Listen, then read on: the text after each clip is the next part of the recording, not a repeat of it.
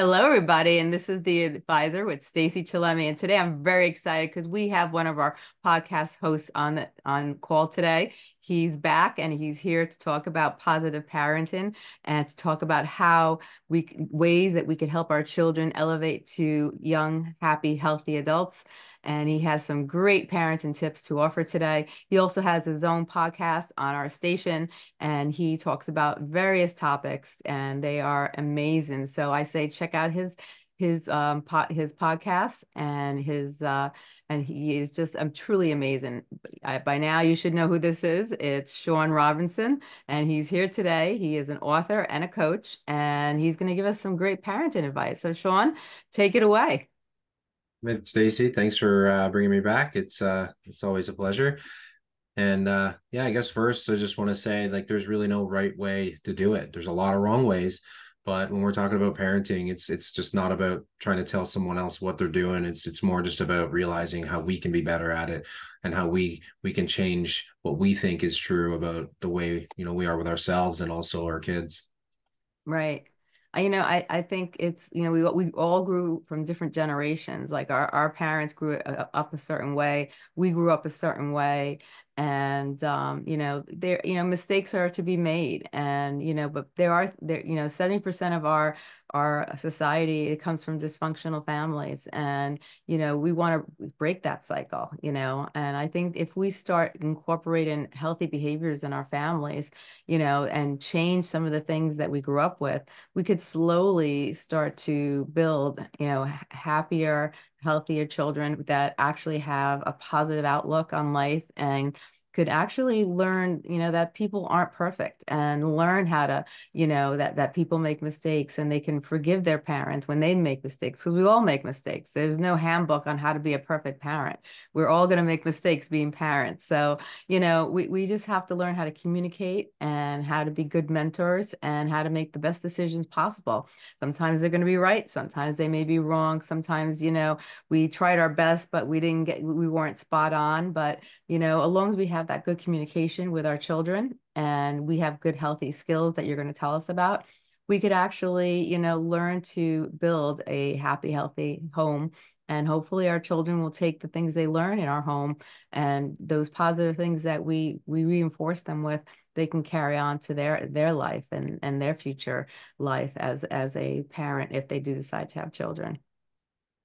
Yeah definitely. The you know the a lot of the things that we we pay forward to our to our kids is the things that we're learning uh, as we grow up. And you know we can't there's a lot of different ways that we grow up. There's a lot of different you know households and a lot of different things we deal with. And you know you mentioned forgiveness. And if that's something that you know we're prepared to do then great. If if we're not there yet that's still great too. But at some point we become responsible for who we are and and we can spend a lot of time and this isn't just parenting this is for every you know development tactic. You know we can spend all day blaming anyone and everything else but at some point we are responsible for it. And thinking about that message we pay forward to to our kids and and even the, the people around us at work and and wherever you know we have to own that about ourselves and then we have to change that narrative and and a lot of the way we do it is is getting away from that mentality that we have to stay a certain way. We have to be the same person that we have to do these things because they're the only way i know how to do it. And and you know when we're when we're learning these things and we're growing up in these environments and and you know whoever our parent figures are at the time it's you know if they're doing things a certain way that's that's all we know to be true.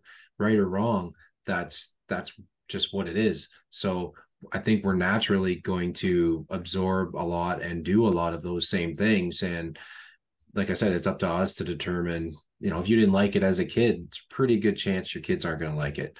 So, you know, what you do with that is kind of up to up to you. You know, maybe you didn't like it because it was what you needed. Maybe you didn't like it because it was no, not a good environment. Right.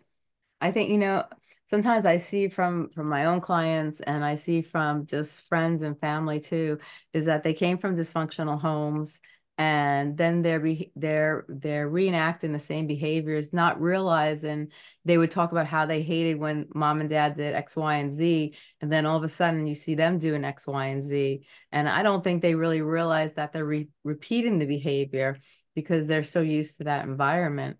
So do you have any suggestions like how people can if they're if they're thinking it's normal in their head and even though they didn't like it as a child but they're so used to that behavior that it's become a part of them you know how you know what do we do? Like do we look dive deep, deep into ourselves and think about are we happy with who we are? Maybe we get some support outside support or do we maybe you know start to listen to people if someone makes a comment? Because when you, a lot of times i've noticed too if people don't ask for your help that means they don't want it. They're not looking for it. And if you try to make a suggestion even to be helpful it usually backfires on you. So you know what's your intake about you know how to go about that? Well i guess first it's it doesn't matter what it is. People if if if they don't want your input if they don't want your suggestion um you know you shouldn't give it. And and a lot of the the the the, examples is like make sure you get that first right? It's not about going to everybody we meet and everybody we know and trying to fix everybody because yeah. that's not going to be received very well. But if if we're looking to you know if we're if we're in any situation the be- the best thing to do is is compare. And, and and not to compare yourself with someone else but you know look at yourself look at what you're doing look at your mm-hmm. environment and decide if you can do something different if you can do something better. Maybe what you're doing you you can learn through even if it's a sitcom on tv right? Because there's always right. the best case scenario you're watching it and it's like oh you know what? That i wish our family did that. I wish we had dinners together at the table or i wish whatever. You know then start doing that. Right. Start doing things that that are gonna put you more in the the frame of mind and the environment that you want to be in. And uh, while we're comparing this this way and, and learning through others it's in that that we get awareness to the ways we were you know brought up or the environments we had because we only know what's what's true. And yeah what you said we're gonna start to become that person almost subconsciously but with that awareness and with the people around us and you know if that sitcom is is something that that relates it's it's at least an example that we can use to to, to try and change a few things that that we're doing. And you know that's that's going to translate. That's going to translate to to all of our relationships including including our kids. And you know some things that that we have to remember is like we're adults. Most of the most of us have children are you know adults. And we know what we know. And i think automatically and I, I, was this way for a bit too but like i'd forget that the kids don't know that yet. Yeah. You know the common sense and the the different things that that we learn as we grow they just don't have it yet. So there's a lot of teaching that still needs to be there instead yeah. of you know a lot of that pressure and a lot of that uh you know assumption that they're just going to know things automatically. Right.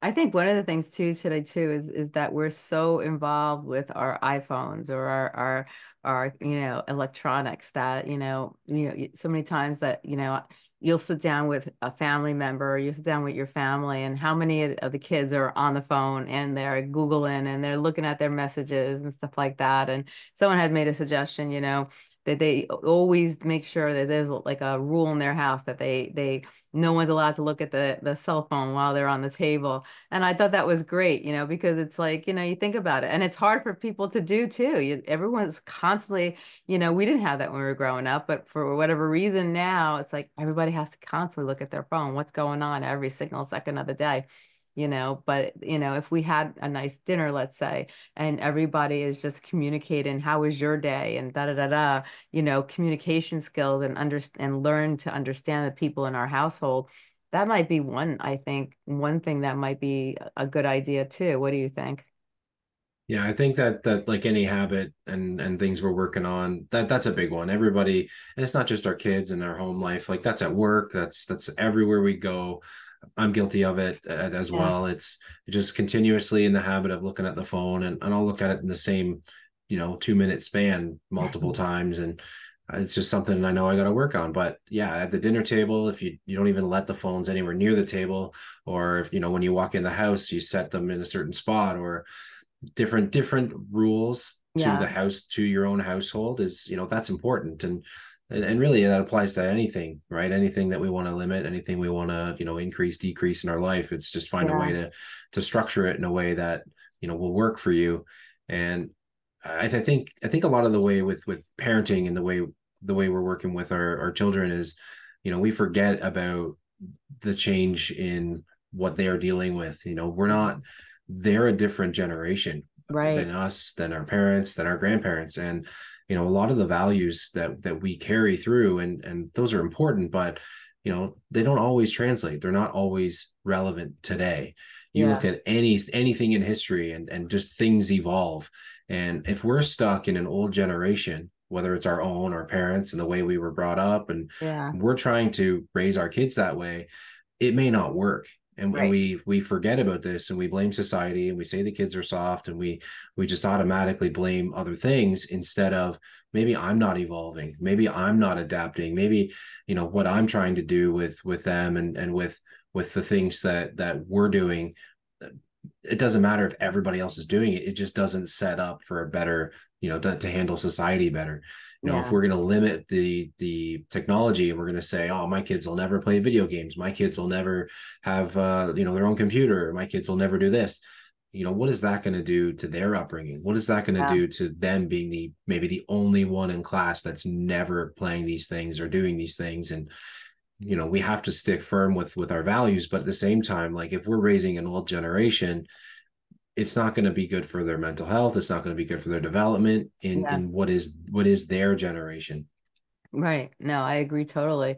I think that's one of the biggest problems that people get stuck in the the way they grew up in their generation and they get stuck in the old ways and they you know as time evolves life evolves and everything changes you know the way people think the way people dress the way people react to things the way people view life you know every generation has gotten more liberal and more open to and and you know if if you're going to get stuck in the past you're not going to be able to relate well with the younger generation. And if you're a parent or you're going to be a parent and you're still stuck in this old generation and you're not open to the new generation that, that our future generation then how good is your communication between your child going to be if you could only think one specific way, the way you grew up, and that's it? Mm-hmm. Yeah, and and and a good example of that is is a lot of like the coming from my space um, in like the construction industry, and my dad was a mechanic, and like there's a lot of like masculinity that gets that gets paid forward. And there's a lot of just toughen up and be a man and fix it yourself. And, and, a lot of the things that defined my early parts of this my this journey. And you know the more we pay that forward the more we we set our kids up for for failure yeah. That's an attitude that you know it's gonna that could relate to racism that could relate to to any sort of element that yeah. is not it's never been accepted but it's definitely less accepted now. Or you know you know abusive. So yeah. if we don't get rid of those those things that we we feel or the things our parents felt yeah. it's not it's not going to be good for us. It's not going to be good for our kids either.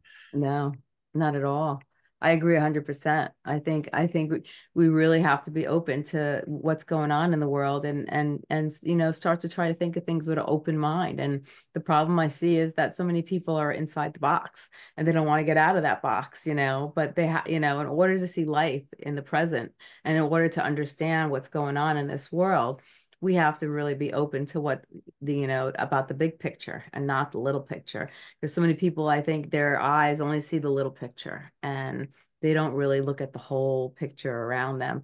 And maybe if they took time out to look at everything instead of just one small segment they'd have a better understanding of what's going on at home, at work, in their life, and they'd have better, maybe better communication skills, even with their children, and better ways of figuring out ways to to raise their children so they could, you know, incorporate a, a healthier and happier lifestyle within the home.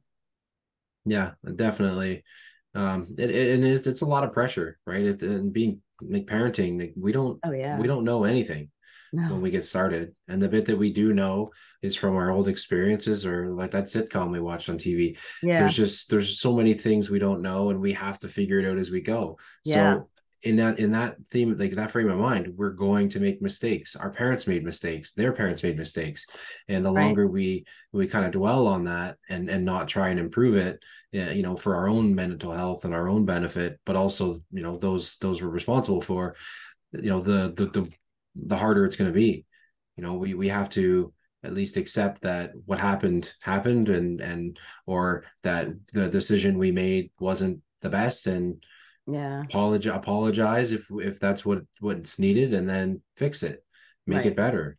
You know set it up that that you know you've at least you've learned your lesson and then the next the next decision is is going to be different hopefully.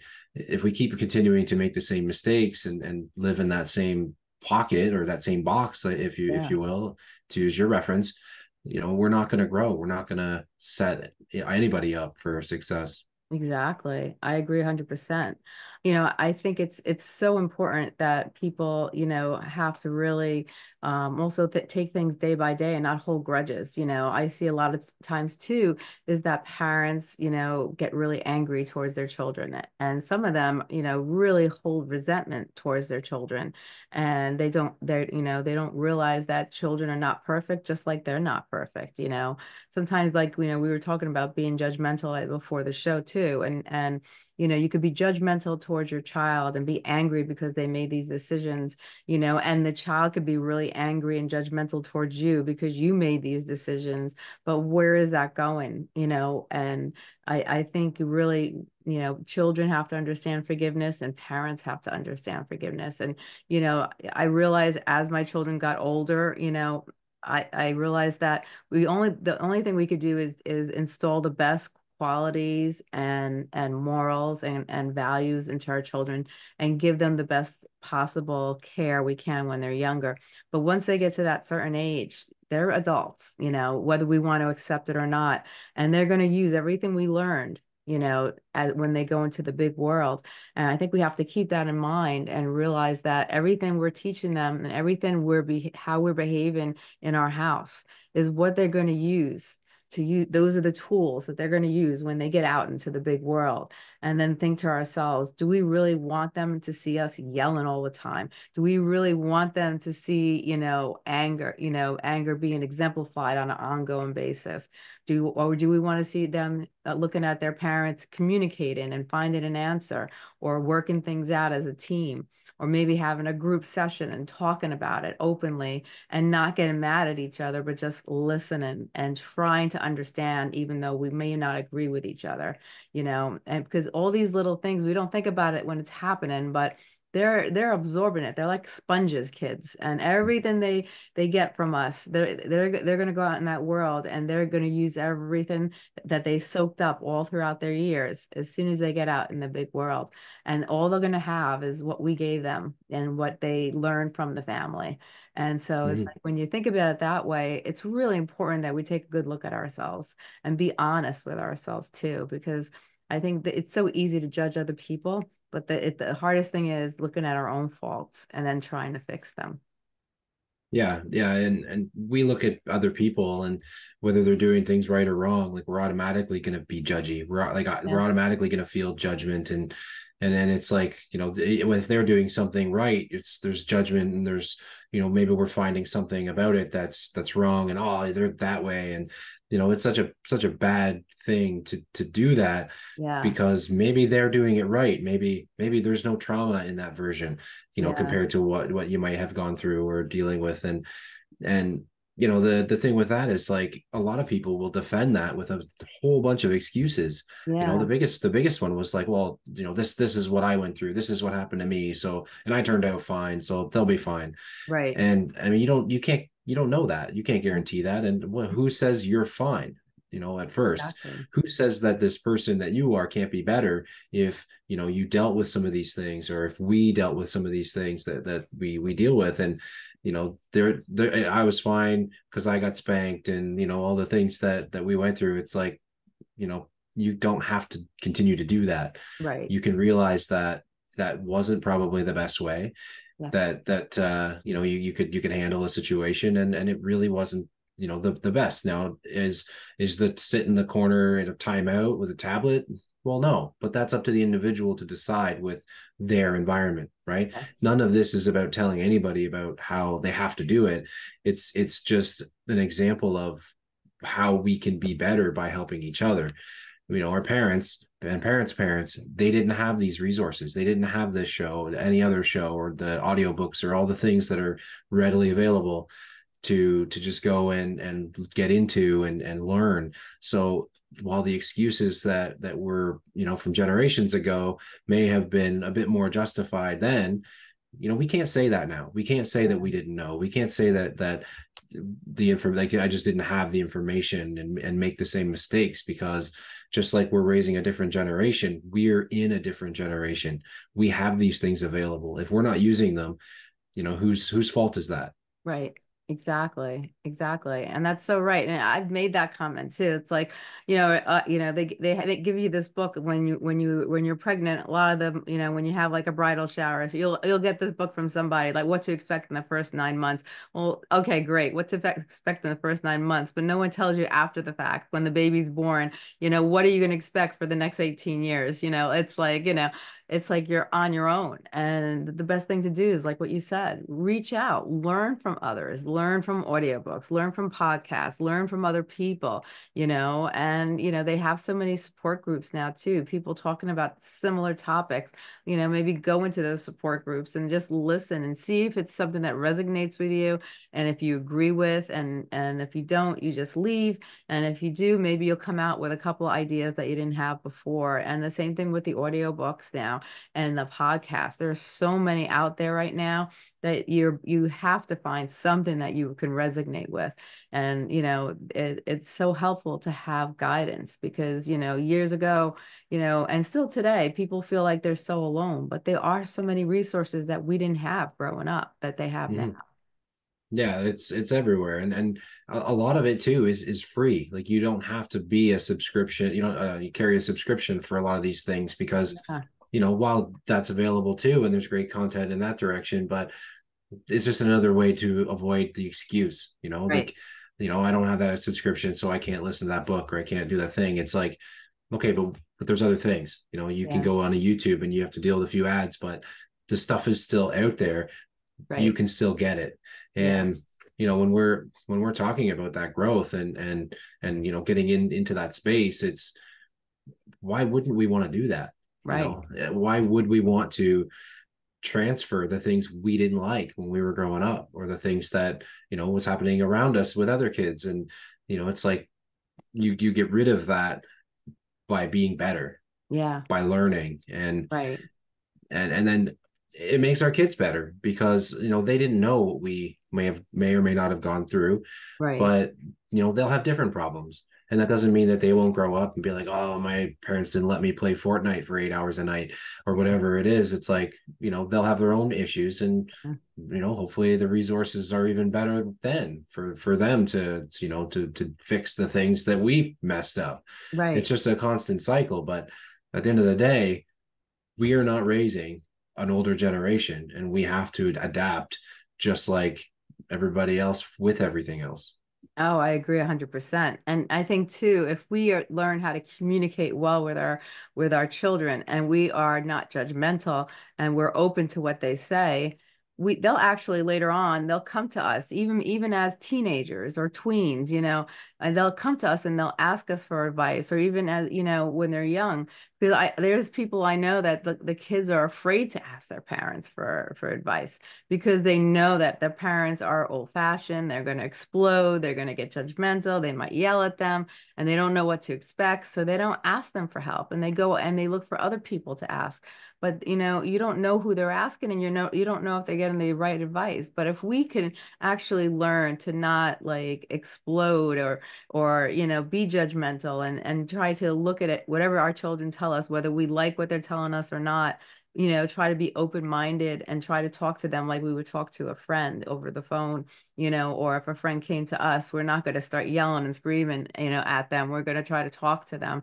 We could do the same thing with our children you know we might have such a great communication that even when in the adulthood when they need help they can come back to us and and ask us for help you know and guidance. And you know that's what you want really i think. What do you oh, think? oh yeah definitely and and like my kids are young so i still have a lot of learning left but you know it's it's not about trying to tell anybody i say it again in a different way it's not about trying to tell anybody that everything i'm doing is right and everything you know someone else is doing is wrong or whatever. You know it's just i recognized at a point in my development and my growth that i was becoming something that that i didn't like something yeah. that that that was a situation that that just wasn't ideal. And you know, I got to a point where it was like I started to do these different things and try these different things and be more open with communication and you know give give my kids a chance to to talk. And then it was like you know they're they're different problems than than when they get older but like they're still the same to them. Like in in that moment in that mindset at that age they are it's a it's an important problem to them. And and, and it may not oh, seem yeah. big to us but in their in their small minds it's like you know this is the big deal yeah. right? So so we have to really understand that that while we're constantly growing like they're they need whatever full support in that moment. And like back to the suck it up and fix it or be a man or whatever version of that it's like you know that that's not productive because that's not giving them the tools. That's not you know showing them how to deal with these things in these moments. And then they'll end up growing into that right? They'll they'll, they'll yes. learn the things and then you know it'll be new things but that baseline from you know uh, our own growth and, and what we can transfer will will help them grow grow more. And even when they get older you know you're still going to find that you know things that we might not think is a big deal because we've done it so many times or been through it so many times is detrimental. And i think it also also rely you know it, it, it depends on the person's personality too. You know if you have people with people who can handle like high levels of stress, you know, X, Y, and Z might not be in a big deal for them and they'll handle it, you know, whereas someone else might have a panic attack and they'll be like, their heart will start racing because, you know, something's happening and it might not be a big deal to somebody else, but to them, it's like the end of the world, you know? So, you know, it, it all depends on who you're speaking to. And I think also we have to also you know analyze especially with our kids i've learned from my own children is that each of my kids have a completely different personality totally different from each other so mm. when i talk to them i have to approach each of them differently because one the the way I talk to one will will work with that one. But if I try to copy that, say the same thing to the other person, they're going to take it a totally different way, and it's not going to be good. You know, so it's like mm-hmm. I have to, you know, it really you have to step back and look at that person's personality and say, okay, what type of personality am I dealing with, and how should I word myself, or how should I approach this situation so it ends up in a positive result. Yeah, absolutely. And that was that was a huge thing for me going from 1 to 2 to 3. It was learning all these personalities and mm-hmm. and learning how to you know adapt to them and realizing yeah. that they're not all going to like the same things they're not all going to learn the same way you know it's there's going to be different things that bother them uh, day to day and and like dealing with any any people like we when, when we like we realize that these these small people are going to have their own opinions and their own yeah. thoughts. And eh, you know it's not up to us to to control and mold them into into this perfect soldier. It's it's just a matter of providing that support and you know keeping them safe and facilitating what what they do like and don't like. And you know, I'll still, you know, because dinner times seem to be the worst. It's like all these all these little personalities and things come out, and nobody wants to eat what's there. It's yeah. at the end of the day, like we still have to have those values. We still have to have that structure, and you know, the the odd time maybe there's something else, but we make one thing. You know, yeah. it's it's it's still keep. I still keep a lot of that in in place because you have to still be the the adult you have to still be the one in control and and yeah you can do that. You can still have control. You can still do all the things but you can do it in a more progressive way. You can do it in a more it's gentle way if it's yeah. required or a firm way. Like all of the things still you know have to happen in this in this life but it's it's it's all in in the in the the way that the message is delivered and the way that it's handled and you know the the way that uh you know the way that we we we we handle it with with them and with ourselves yeah, and I noticed from from growing up with my children is that their personalities developed the moment they were born, and it's funny because they all have the same personality as they did when they were little. You know, they're just matured, but that personality is still the same personality. And and and the thing is is that, you know, they also learn how to manipulate at a very young age. And it's like, you know, okay, how do you handle that manipulation? You know, because they all know they all want their own ways, you know, and they all use certain tactics to try to get their ways, you know. And it's like, okay, so how do you handle that? How do you, you got to make sure that your children know that you're the parent, you're the decision maker, and, you know, and at that, you know, what you say is, is what stands, but you want to, you don't want to seem like Sergeant Slaughter where, you know, the kids are terrified and, and they, you know, and they, they're, they're, you know, they, they, uh, you know, they kind of like back off. You want to be able to show them that you're the authority figure, but you want to do it in a way where they you know they they know they can't manipulate you but they feel close to you at the same time. They respect yeah, i think. It's about respect. I was going to say it's it's about respect because while the kids we don't like we don't know what respect is you can feel it yeah know? and, and when you trust that that you're going to get maybe it's not the answer you like but that doesn't mean that you know the next day you're not going to be able to do this thing right? You're not going to be right. able to like it's it's about balance and it's about respect. And and if if you don't have that because your kids are afraid of you or because um whatever that environment is they don't trust you that's not that's not productive for you it's not productive for them and that stuff compounds right? You you will build that over time positively or you will build that negatively. Yeah. and if you think forward to the kind of person that that you want to be and you want them to be um, you know what does that look like with the environment that that you're facilitating right now with the way that you feel and think about certain things? Because like those you said those little sponges are picking up on a lot more than we think. Yeah. And if we're going to talk to somebody a certain way they're going to think that's the right way whether it's good or bad.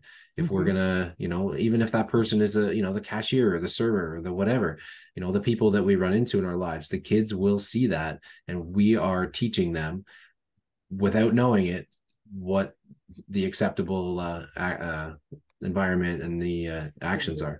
Yeah, definitely, a hundred percent.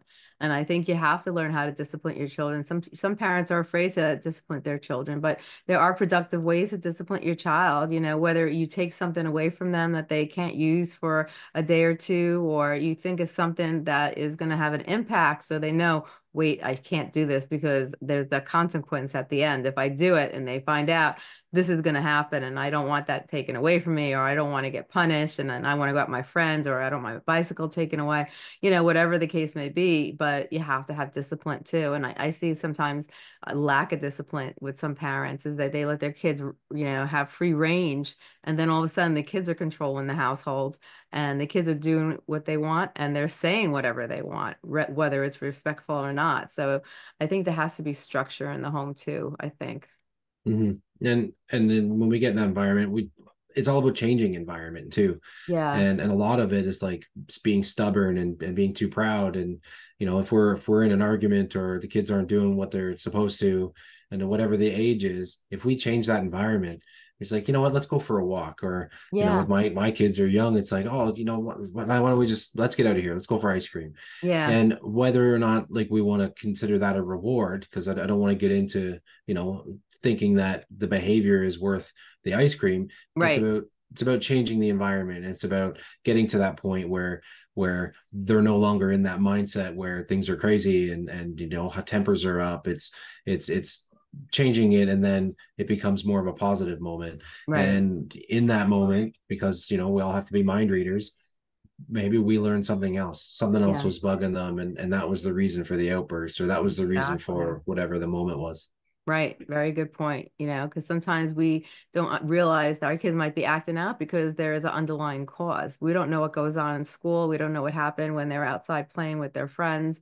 You know, you know, our kids don't always tell us, and the older they get, less they tell us. You know, so you don't know what's going on. You know, and so you have to take that into into consideration, and that's where good communication comes in. You know, they may not tell us all everything as they get older, but if you have that good communication, maybe they will will open up and you know ask for guidance and and tell us little scenarios and open up to a certain degree. Yeah and and it's trust and respect again.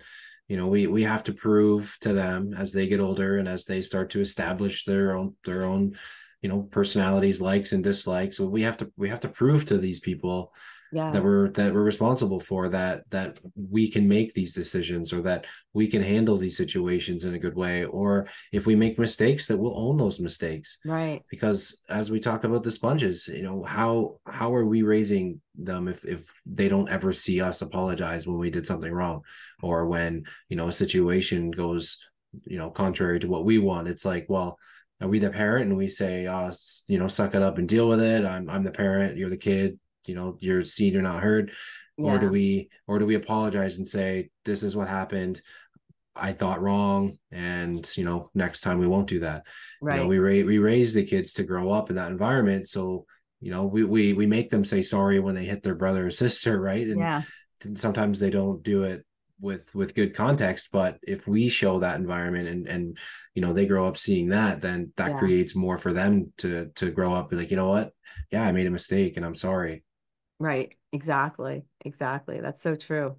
Uh, if you had to take everything we talked about today and you had to emphasize it and into a couple of, of main points, what would you like to emphasize that you think are really important that we talked about today?